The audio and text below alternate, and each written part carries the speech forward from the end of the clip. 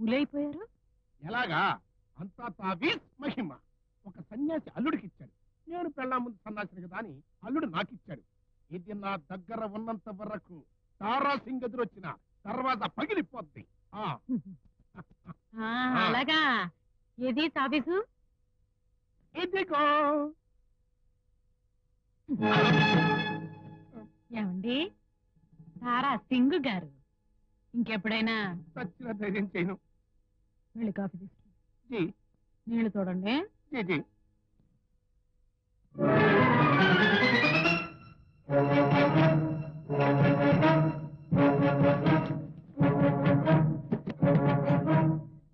అమ్మమ్మా! పాపాజీ తాయెత్తు. రాత్రి తెంపేశానుగా? అమ్మాయి. అబ్బే నథింగ్. రాత్రి హోరాహోరీగా ప్రయత్నించాడు. జబ్బ కట్టుకున్న తాయెత్తు తెంచేశాను. తెల్లారులో మోకాళ్ళ మీద గోడ కుర్చీ వేయించాను! వెరీ గుడ్ నా మనోరాలు! సారీ బావా అమ్మమ్మని నమ్మించడానికి అలా చేయాల్సి వచ్చింది. ఏం పర్వాలేదు ఇలా కూర్చో ఇలాగే బాగుంది. పాపాజీ నా లైఫ్ పార్ట్నర్ చేస్తాన్నారు మోసం చేశారు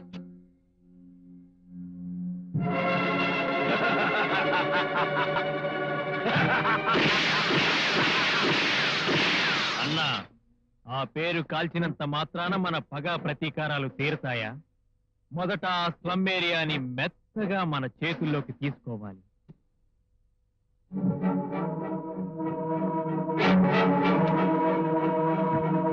అమ్మగారు స్లమ్ ఏరియాలోంచి లేబర్ వెళ్ళిపోవాలంటే గుడిసెలు అంటించక తప్పదు అన్నారు భగవాన్ గారు.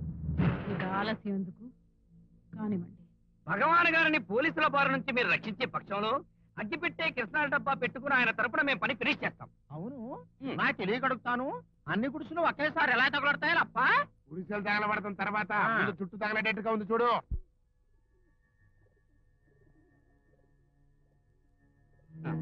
అంటించండ్రా.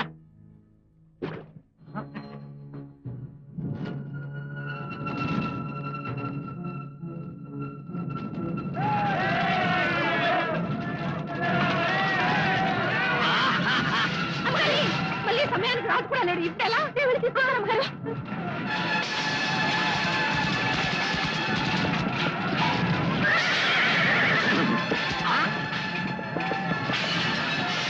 రాజు ఫోన్ ఇంజిన్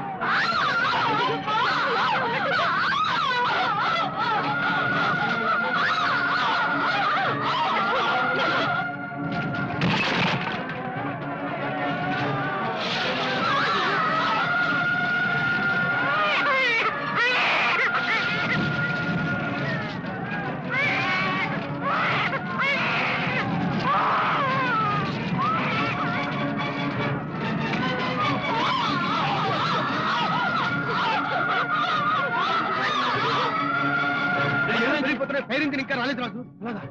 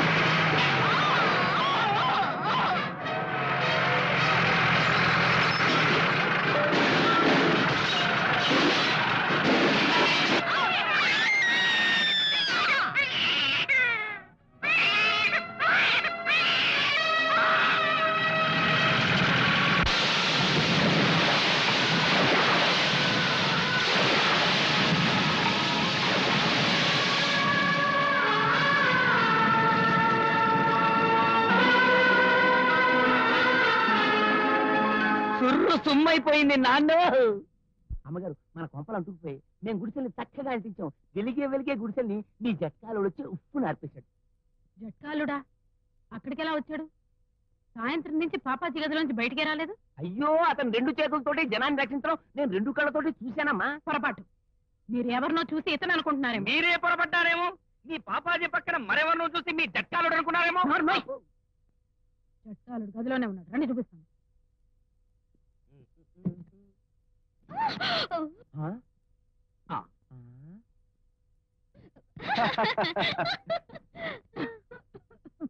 ఏం బాబు ఇంకా నిద్రపోలేదా? ఏం లేదు అత్తమ్మాజీ. పాపాజీ అర్ధరాత్రి గళ్ళేసి నాకు జడేయాలి జడేయాలి అని ఒకటే గొడవ పెట్టింది. పాపం తను ముచ్చట నేను తప్పితే ఎవరు తీరుస్తారు? అందుకే జడేస్తుంది. అమ్మమ్మాజీ ఆయనకి ఎన్ని రకాల జల్లేడు వచ్చో తెలుసా? వాళ్ళ జడ పూల జడ ముందు ముడి వెనక ముడి. నిజమేలే మరి ఇంత అర్ధరాత్రి పూట. తప్పదు. ఏ జడ ఎప్పుడు వేయాలో ఏ మూడు ఎప్పుడు ఇప్పాలో అప్పుడప్పుడు జరిగిపోవాలి. అవును? ఇవాళ అప్పుడు మీరు వచ్చారు? మీకు కూడా జడైనా? బయట పంది కుక్కలు గోల ఎక్కువగా ఉంటేను నిద్ర పట్టుకెలా వచ్చేసాను. మీరు జడ వేసుకోండి. అలాగే వెళ్ళండి. మోసం దగా ఇందులో ఏదో మాయ ఉంది. దగా చేసింది మీరు. మోసం చేసింది మీరు. మీరిద్దరు కలిసి నన్ను మాయ చేద్దాం అనుకుంటున్నారా? ఏయ్, ఈ క్యాఫ్ మనం అబద్ధాలు చెప్పినన్ని రోజులు అందరూ ఎగబడి నమ్మారు. ఒక్క నిజం చెప్తే ఏమిటిలా అయింది? అందుకే ఎవరు చేయాల్సిన పని వాళ్ళు చేయాలిరా. మనం జీవితంలో నిజం చెప్పకూడదు. నిజం చెప్పకూడదు. నిజం చెప్పకూడదు. నిజం చెప్పకూడదు. ఏమిటి? పత్రికల వాళ్ళంతా కలిసి ఇలా వచ్చారు? రేపు సాంఘిక వ్యవహారాల మంత్రి గారు వస్తున్నట్టుగా తెలిసింది. మీరు వారిని కలుసుకోవాలనుకుంటున్నారా మేడం? తప్పకుండా. ఈ సంవత్సరపు ఉత్తమ ప్రజాసేవా పథకం సంపాదించేందుకు మీరు మంత్రి గారి ద్వారా ప్రయత్నిస్తున్నట్టు తెలిసింది. Good morning sir good morning ఏమిటి ఇలా వచ్చారు? పేదవాళ్ళ గుడిసెలో తగలబెట్టిన రౌడీల్లో ఇద్దరు దొరికారు సార్ వాళ్ళతో చేయించింది ఎవరు నిజం చెప్పే వరకు వాళ్ళని చిత్తం కొట్టించండి. ఆ పనే చేశాం సార్ కానీ ఈ నేరం వెనుక చాలా పెద్దవాళ్ళ చేతులున్నాయని తెలిసింది. వాళ్ళు ఎంత పెద్దవాళ్ళైనా సరే వాళ్ళ చేతులకి బేడీలు వేయించండి. బేడీలు వేద్దామనే వచ్చాం సార్ మీ అత్తగారికి. అవును సార్ మాకు దొరికిన ఇన్ఫర్మేషన్ బట్టి గుడిసెలు తగలబెట్టించడంలో మీ అత్తగారి పాత్ర కూడా ఉందని తెలిసింది. ఏంటయ్యా నీకు తెలిసింది? గోడక నాడ గుడిసెలు తగలడ్డాయనే పొద్దున్నే పేపర్లో చదివి పాపం అత్తమ్మాజీ పచ్చి పళ్ళ జ్యూస్ కూడా తాగలేదు. ఆ బాత్తోనే కాలిన ప్రతి గుడిసికి వెయ్యి రూపాయలు ప్రతి ఇంటికి పది కేజీల బియ్యం ఇస్తానని చెప్పడానికే ఈ పత్రికల వాళ్ళతో మీటింగ్ పెట్టింది. తెలుసా? గుడిసెకి వెయ్య? నేనా? ఊరుకో అత్తమ్మాజీ. నేను మాట చెప్పకపోతే చేతులు గాజులు తీసేసి వేడిలేసి తీసుకెళ్ళిపోతా.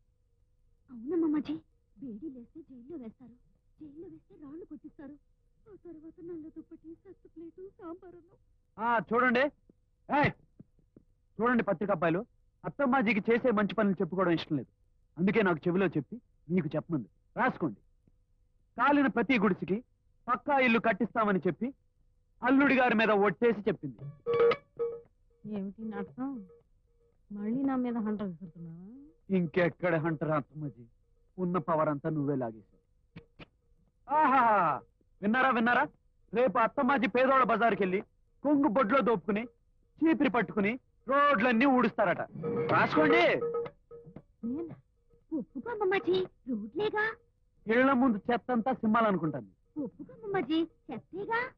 బూడిదంతా గంపల్లోకి ఎత్తాలనుకుంటాను ఒప్పుకో అమ్మమ్మాజీ బూడిదేగా కక్కుసు దొడ్లని పెనాయిలేసి కడగాలనుకుంటాను ఒప్పుకో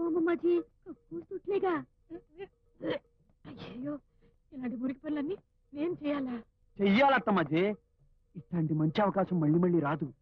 ఇటువంటి పనులు చేస్తేనే ప్రజల్లో పరపతి పెరుగుతుంది. ఆ తర్వాత ఉత్తమ ప్రజాసేవ పథకం తప్పదు. మేడం మీరింత ఉన్నతమైన నిర్ణయాలు తీసుకున్నందుకు మాకు చాలా సంతోషంగా ఉంది. అవునవును. రేపు మీరు చేయబోయే సేవల గురించి పేపర్లో రాసేమంటారా రాస్తారా? రాసేయండి తప్పకుండా రాయండి. అది చూసైనా ఈ పోలీస్ వాళ్ళకి నేను ఎవరనేది గుర్తుంటుంది సారీ మేడం మీ నిజాయితీని అర్థం చేసుకోలేకపోయాను. ఎక్కడో పొరపాటు జరిగింది. ఎక్కడో కాదు నీకు ఈ ఉద్యోగం ఇవ్వడంలోనే జరిగింది. పెద్ద పొరపాటు. ఆహా, బాగా అన్నారా బల్ ఏ బిల్ల.